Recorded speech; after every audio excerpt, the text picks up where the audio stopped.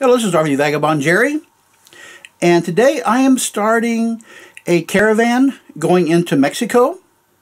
It's with the Escapees RV Club, and we have 43 rigs that are caravanning from Tecate, Mexico to Gu Guerrero Negro, Mexico.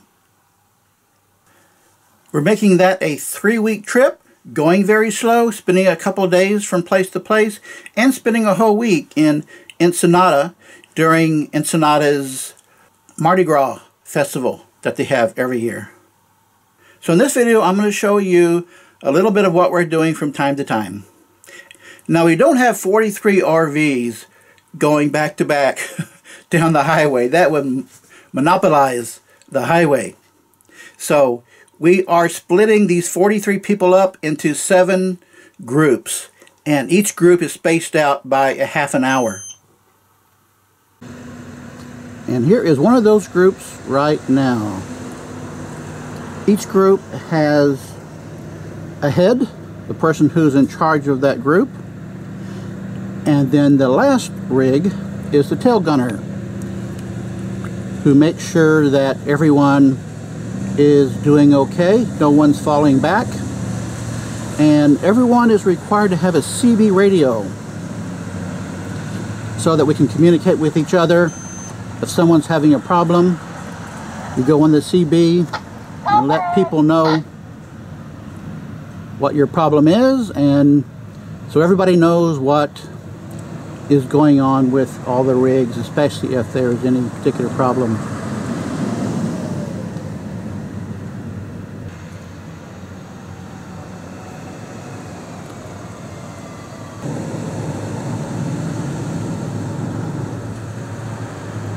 So here's the last one, and that is the group that is just before the group that I am in.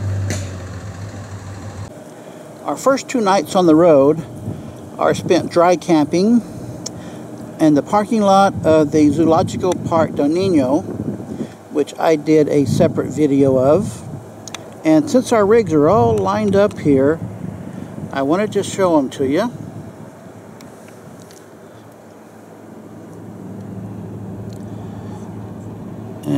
Probably recognize this one right there. Here's some more of them. And the ones that have the trucks in front of them are the ones pulling fifth wheels or travel trailers.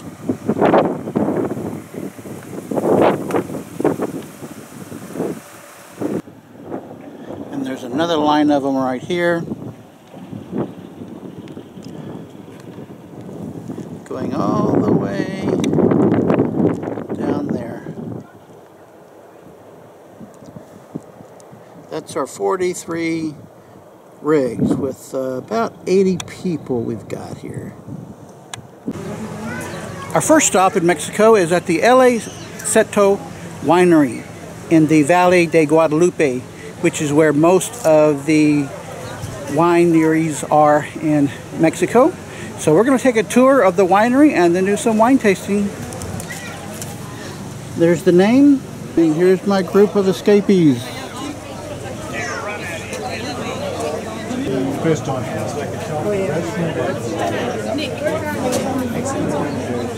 This is the first week in February. So all of the wine fields here, I mean, all of the grape fields here are very dry and looks dead.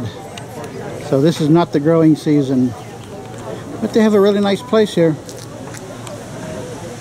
fruity, refreshing, and semi-sweet.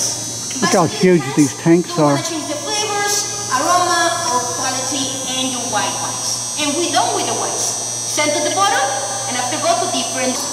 The semi-reserve or reserve line, 12 months to 16 months inside. Yeah, the boutique line, the premium bottles, 20 months to 10 years. Three different oaks. Have the big one, the medium, and the typical the small ones. So I want to start with the big. Red or Yugoslavian oak. Inside, we them only and all the red wines from the classic line. The classic line are the more commercials wine we have in Mexico and we export you USA. You can find in Costco. No hablamos de flavor, aroma, quality in the glass plate, but it's the only one for check. So, the only wine from Trento, we sell to the hall for 10 years. It's a really, really, really, really, really exciting sweet wine. It's really, really, really alcoholic good. They have quite a few square miles of fields here.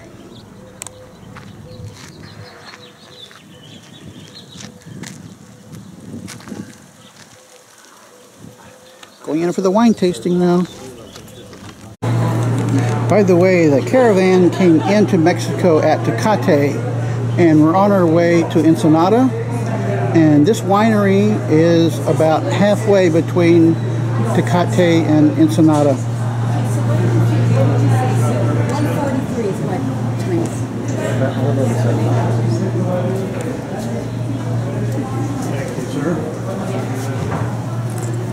And I think they do sell wine here.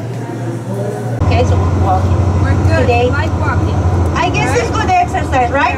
And I guess you are all, you all look like very active and healthy people, which is very good for this, right?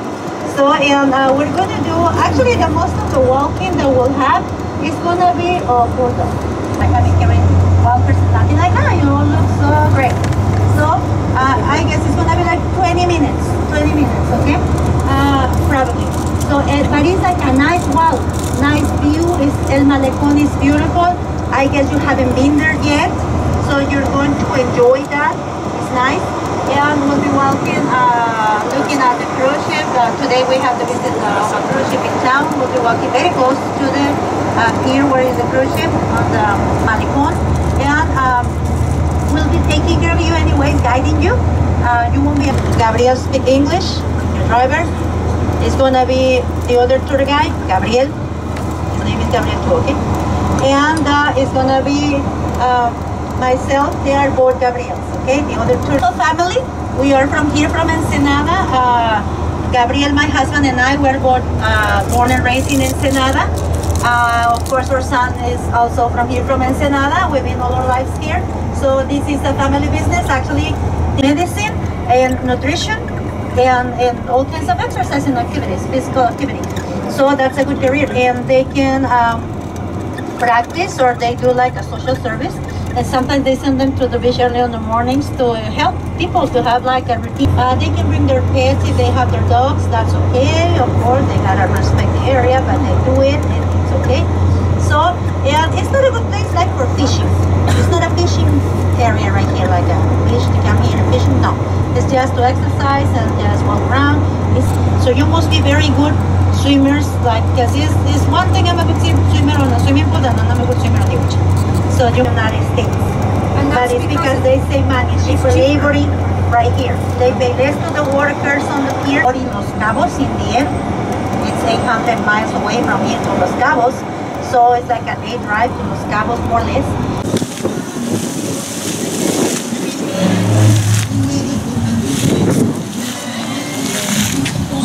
Sí, dos.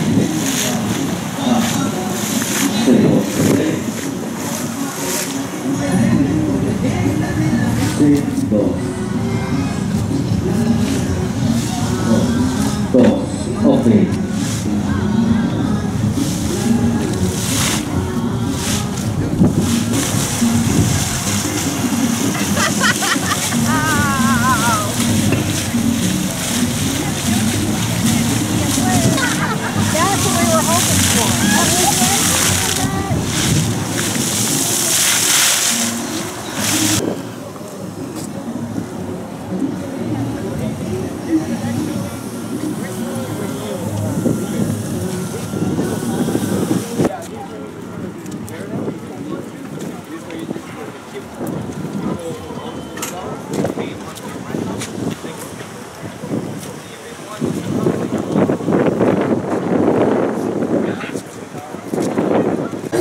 This is where we ate lunch.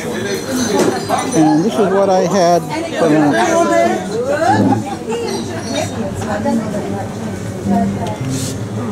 A whole fish. This is Hussong's Cantina, where it is rumored that the, the margarita was invented here, they say.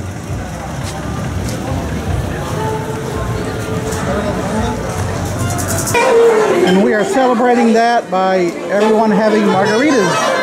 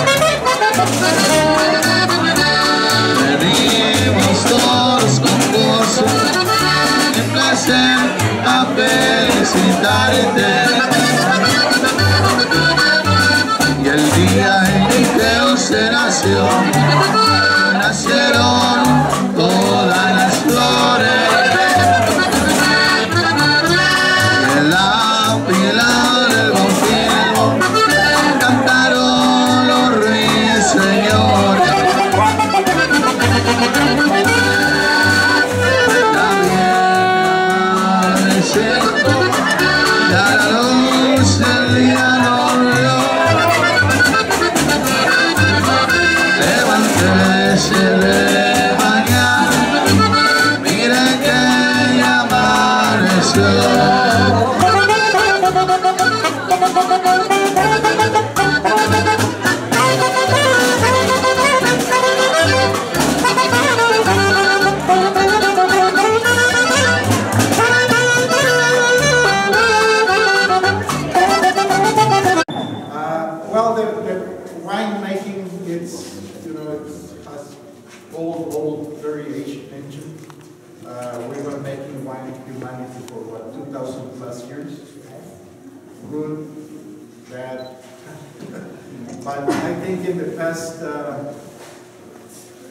say after World War II, everything started to improve.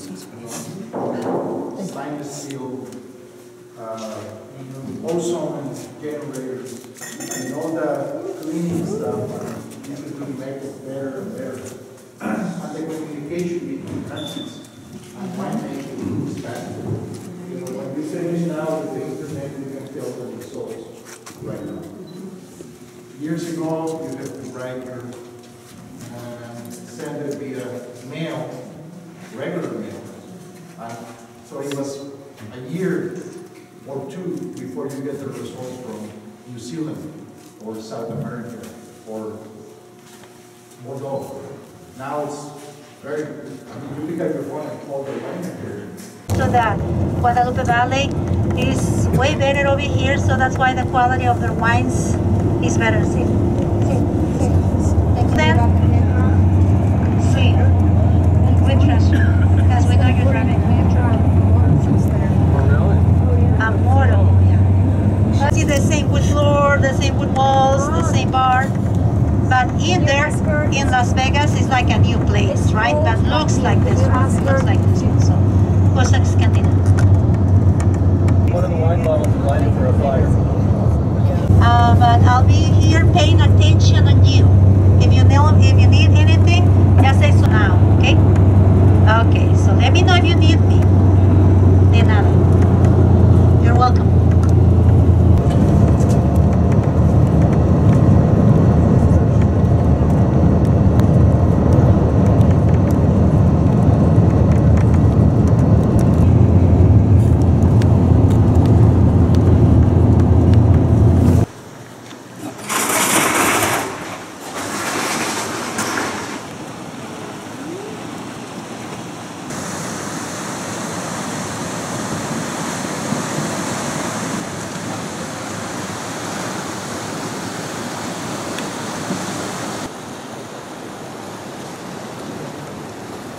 Odin were stealing them just about as fast as they were making them.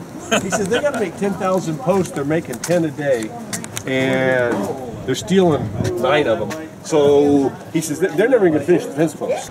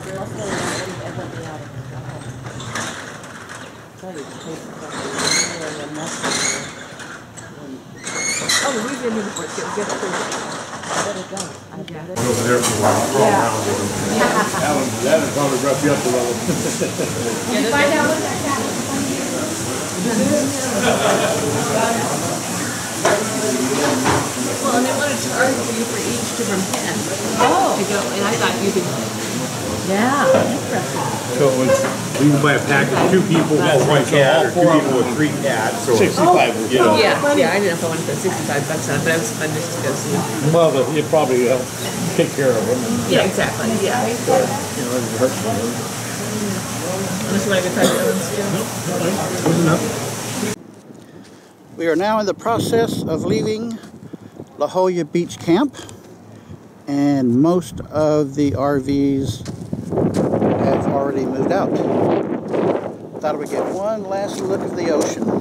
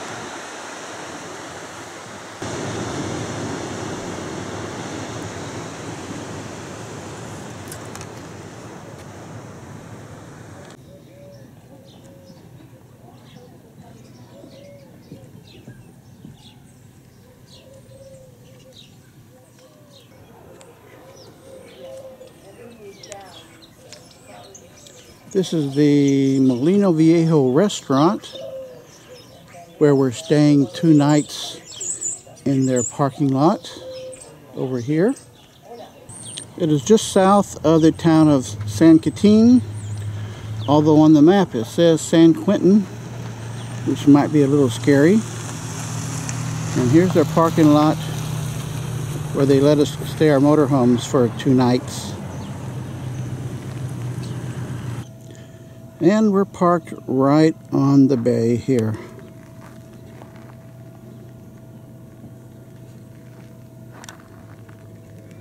Pretty nice place.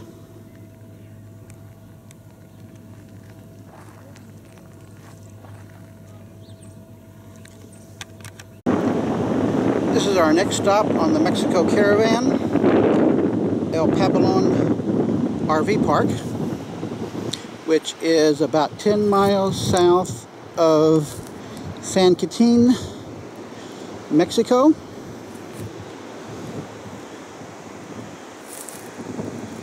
And these are all dry camping spots. There's a, I think, six that are full hookup sites. but they are not right on the beach like these are.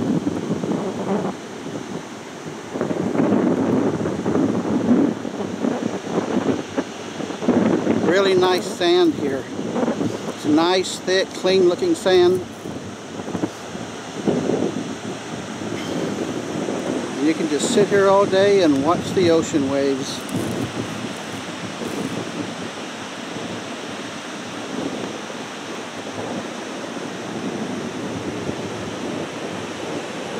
Nice place to camp, especially if you don't need hookups. But you can get water and dump your tanks.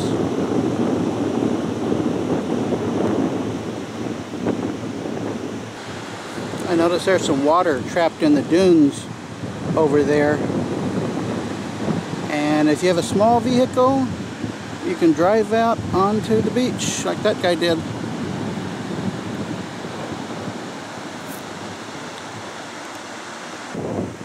They do have a couple of buildings with restrooms and hot showers. Now the water comes from underneath the ground here. And there's naturally hot water that comes out of the ground, but then it's salty water. It's not near as salty as the ocean, but it's still a little salty. I've taken a few saltwater showers. It's not too bad, but it's not like getting a freshwater shower. And there's me right there. I love going. We had, uh, this was, uh, coming through and I grabbed my half a bag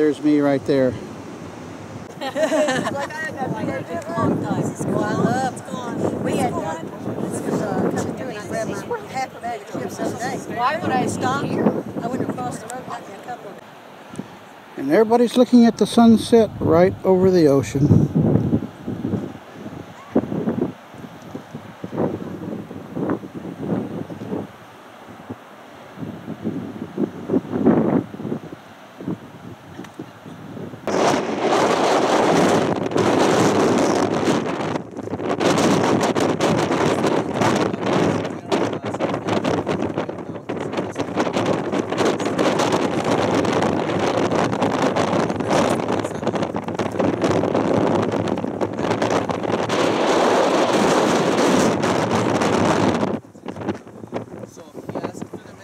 Government to export the salt around the world.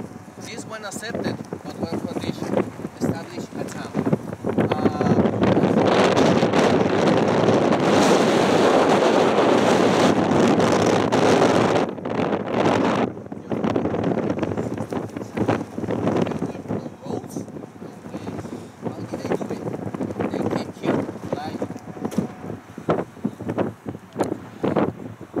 This is the evaporation fields. And here is a truck bringing in a load of salt.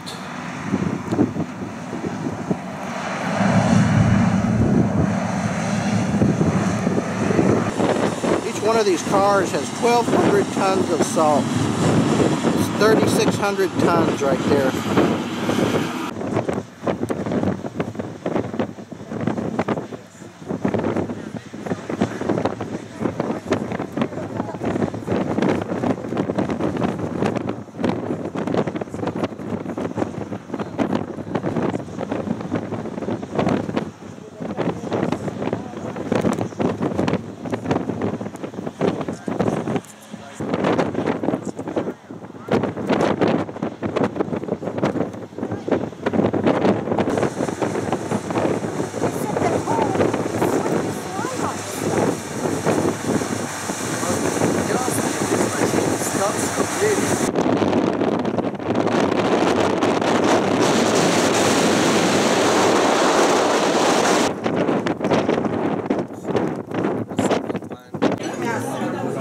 So this is the final day on our three-week caravan, and we're having a farewell dinner.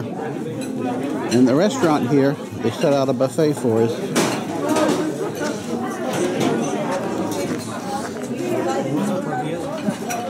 So we I think we all had a good trip and no major problems.